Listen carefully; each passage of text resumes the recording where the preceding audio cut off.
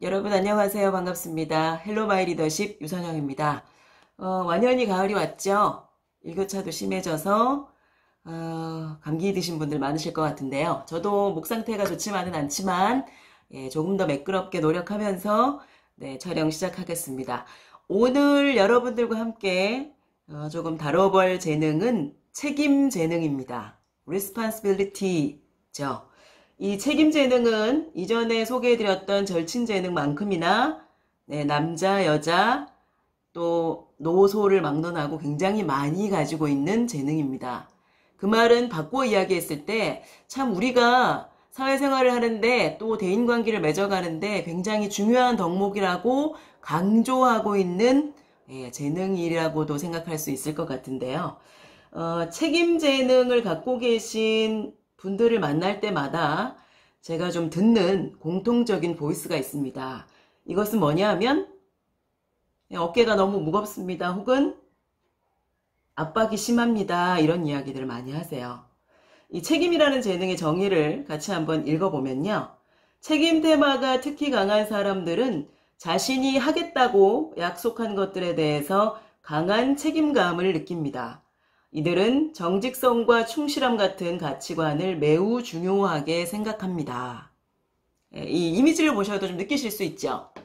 보시면 하나의 손이 또 다른 손에게 네, 열쇠를 넘겨주고 있습니다. 어, 열쇠 잊어버리면 안 될 것 같은데 아, 이거 어떻게 내가 가지고 있어야 하지? 아, 이 열쇠를 갖고 있는다는 게 어떤 의미일까? 라는 생각도 할 수 있는 어떤 그런 어, 묵직한 무게를 느끼는 재능이라고도 이해하실 수 있겠습니다. 이 책임의 성향을 갖고 있는 분들은 일을 완수하리라 믿고 맡길 수 있는 사람들일 수 있습니다. 또 약속이라는 것이 굉장히 중요한 사람들이라 끝까지 제대로 약속을 완수하는 일이 무엇보다도 중요하겠지요. 또한 신뢰, 충실함에 대해서 우선순위 가치를 가지고 있습니다. 주인의식을 가지고 있어서 예, 누구보다 그 임무를 제대로 수행해 내려는 열정이 강한 사람이라고 저희가 해석할 수도 있을 것 같고요. 다른 사람들로부터 존경받기 위해서 조금 버겁더라도 힘들더라도 맡은 임무를 맡은 책임을 다 해내려는 사람들이라고 생각하면 좋을 것 같습니다. 하지만 이런 사람들에게도 장벽은 있습니다. 책임이라는 재능을 갖고 있는 사람들이 가장 어려워하는 것이 무엇일까요? 네, 바로 거절입니다.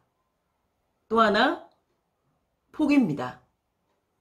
거절과 포기라는 것이 책임이라는 사람에게 있다면 사실 이 책임이 조금 더 책임다워지는 기적이 일어날 수 있습니다. 무슨 말인가? 아, 책임감이 강한 사람이 거절하고 포기한다는 이게 무슨 말인가? 라는 생각이 드실 수도 있을 텐데요. 정말 책임져야 할 일을 제대로 완수해내기 위해서 때로는 그렇지 않은 일들을 거절할 수 있어야 하고요. 때로는 포기할 수 있어야 합니다. 끝까지 해내는 것만이 완수가 아니죠. 하다가 아 이건 아니야. 다른 방식이 필요해. 또 다른 길이 필요해 라고 할 때는 포기하고 네, 다른 길을 모색할 수 있는 융통성도 필요하다고 이해해 주시면 좋을 것 같습니다. 그러면 이 책임 재능과 비슷한 혹은 조금 다른 재능들은 어떤 것이 있는지 저희가 한번 생각해 볼게요. 행동이라는 재능에 대해서 한번 다뤄본 적이 있죠. 아무것도 안 하는 것보다는 뭐라도 하는 편이 낫다고 생각하는 이 행동이라는 재능은 책임이라는 재능하고 조금 다릅니다. 제대로 해내지 못할 것이라면 시작하지도 말자. 이것이 책임이라고 저희가 해석할 수 있겠죠. 시작에 대해서 굉장히 진지하지만 시작한 일에 대해서는 끝까지 완수해내려는 재능. 또 존재감이라는 재능과 한번 비교를 해볼까요?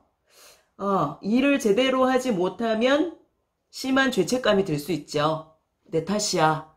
제 잘못입니다. 라는 생각들을 많이 하는 재능이지만 어, 존재감이라는 재능과 비교해 본다면 아, 이 기회를 놓친 것에 대해서 너무 후회가 된다. 라는 생각을 할 수 있는 것이 바로 존재감 재능이라고 이해하시면 됩니다. 어, 우리가 살면서 굉장히 많은 일을 맞닥뜨리고 굉장히 많은 관계들을 네, 맞이할 수밖에 없죠. 어, 저글링을 하는 것처럼 살아가는 것이 어찌 보면 삶인데요. 그 삶에서 어떤 하나의 일, 어떤 하나의 관계가 제대로 되지 못했을 때 책임의 재능이 성숙되지 못한 사람은 너무 그 결과에 얽매여서 다음 일에 지장을 미칠 수 있습니다. 조금 쿨해질 필요가 있죠.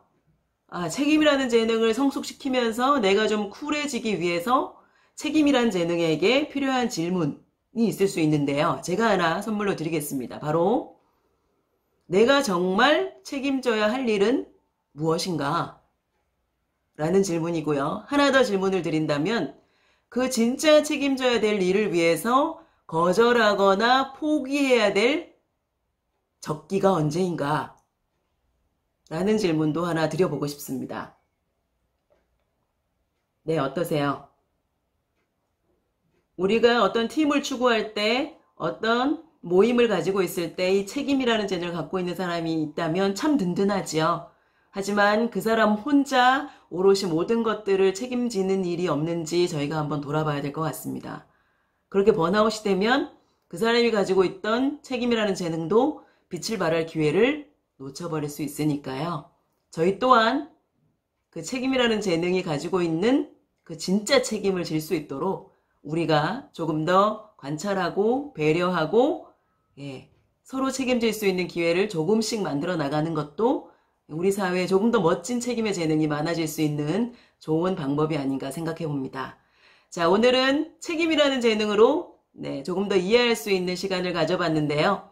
다음 시간에는 배움이라는 재능을 한번 알아보도록 하겠습니다. 네, 지금까지 Hello My 리더십 유선영이었습니다. 좋아요, 구독 버튼 많이 눌러주시고요. 또 어, 이런 재능을 갖고 있는 친구 혹은 소중한 사람이 있다고 생각되실 때는 공유 많이 해주시길 바랍니다. 고맙습니다.